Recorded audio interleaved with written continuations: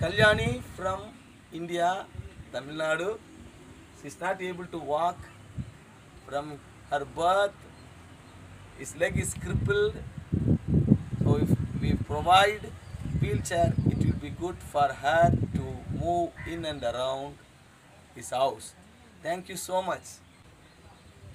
Thank you, CLRI. Thank you, Sister Luciana. God bless you all.